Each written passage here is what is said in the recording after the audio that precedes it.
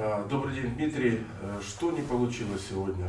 Чего не хватило в итоге, чтобы победить, одержать четвертую победу в сезоне над Николаем?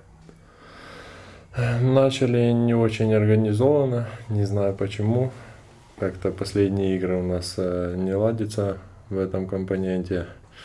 Ну Вот. э, Ну и тяжело было сегодня, наверное, остановить команду, которая их ничего не держала. Они играли в свой баскетбол, свободный, забивали сумасшедшие иногда попадания. Тяжело было это остановить. А, Другими словами, то есть как бы сегодня не ваш день, да, получился так? Э, Да не то чтобы не наш день, просто э, я же говорю, у нас есть определенные проблемы с организацией, и мы пытаемся их в этих играх переплей-офф э, разрешить. Уже известен э, соперник ваш по плей-офф. Э, Вы сегодня готовы дать бой? Мы всегда готовы.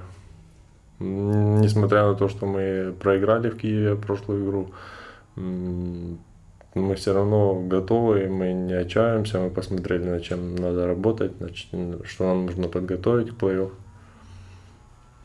Остается только пожелать вам удачи в борьбе за медаль. Спасибо.